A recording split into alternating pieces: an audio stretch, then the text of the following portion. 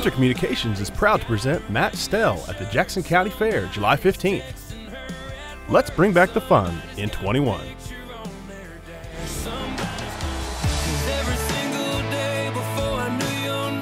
Tickets are on sale now. Visit theexpo.com and be sure to visit the Hunter Communications booth at the fair to learn more about fiber optic internet for your home and business.